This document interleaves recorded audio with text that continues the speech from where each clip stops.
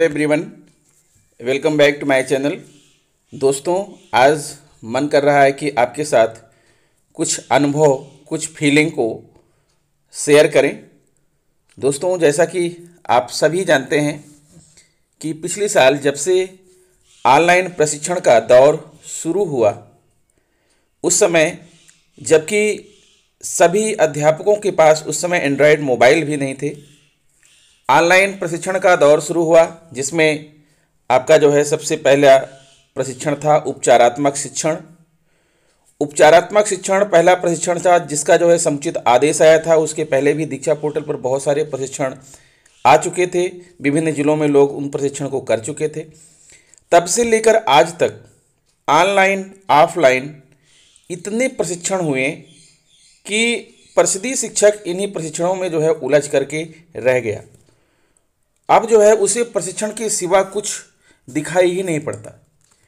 लेकिन इन प्रशिक्षण का क्या फ़ायदा? जहाँ हमें इसका उपयोग करना चाहिए, जिनको जो है इन इस प्रशिक्षण का लाभ मिलना चाहिए, वो तो हमसे दूर हैं, अर्थात हमारे विद्यालयों के बच्चे। और अब प्रशिक्षण की संख्या इतनी ज़्यादा हो गई है, इतनी अधिक हो गई है कि अब उन प्रशिक्षण में क्या सिखाया गया, क्या बताया गया उनको याद रख पाना भी संभव नहीं है। क्योंकि दोस्तों, कोई भी ज्ञान तभी स्थायी होता है जब आप उसका अभ्यास करते हैं। और जब आपको अभ्यास करने का मौका ही नहीं मिलता है तो वह ज्ञान जो है क्षीण हो जाता है। तो इतने ढेर सारे प्रशिक्षण जो है, हो चुके हैं और उनमें सिखाई गई बातें, उनमें कही गई बातें जब अभ्यास में नहीं है तो धीरे धीरे करके क्षीण होती जा रही हैं। और सबसे बड़ी बात है कि ये जो भय का वातावरण बनाया गया है भय का वातावरण क्यों बनाया जाता है? इसे आसानी से भी तो बिना किसी घर्षण के भी तो कराया जा सकता है। बताया गया था कि पासबुक बनेगी, पासबुक में आपके सारे प्रशिक्षण की एंट्री होगी। पासबुक तो बनी दीक्षा पर, लेकिन उसमें नौ या दस ही प्रशिक्षण क्यों? आखिर बाकी प्रशिक्षण उस पर उस पर जो है, अंकित क्यों नहीं है? क्या बाकी सारे प्रशिक्षण बेकार हैं?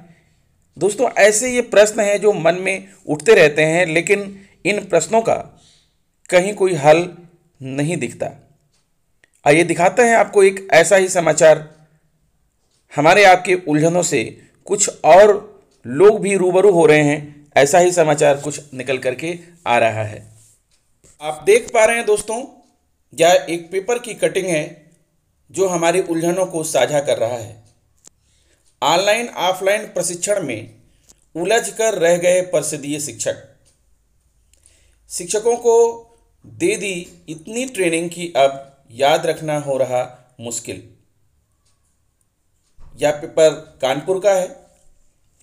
पिछले कई माह में परिषदीय शिक्षकों को शिक्षकों को इतनी अधिक ट्रेनिंग दे दी गई है कि अब शिक्षण के दौरान इनको लागू करना एवं इनके सबक को याद रखना शिक्षकों के लिए काफ़ी मुश्किल होने लगा है।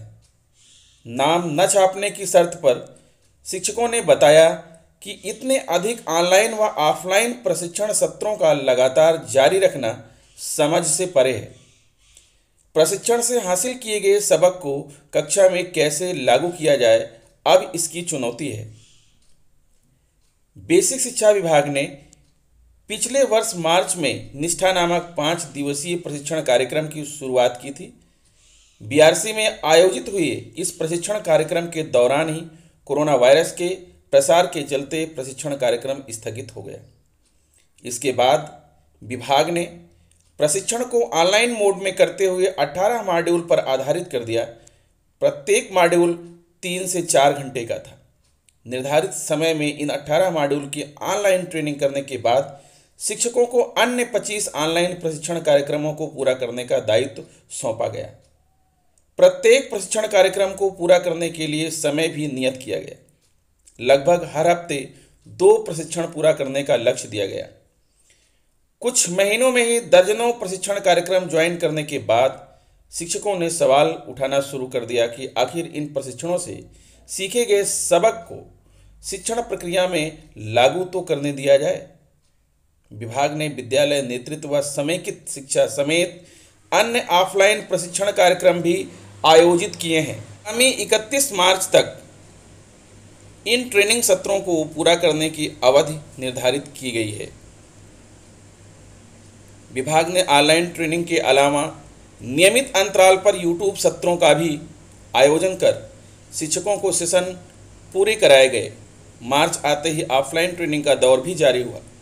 कई ब्लॉकों में आधारशिला क्रियान्वयन प्रिंट रिच व समृद्ध मॉड्यूल तथा एनसीईआरटी आधारित प्रशिक्षण सत्रों का भी दौर जारी था, लेकिन होली के चलते फ़िलहाल इन प्रशिक्षणों को स्थगित कर दिया गया है।